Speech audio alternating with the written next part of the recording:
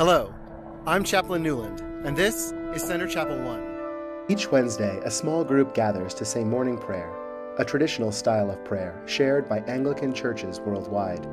We read scripture to each other, read the Psalms together, and pray for each other, Fort Bliss, and the world. Think of it as a combination of Bible study and worship. We hope you'll come join us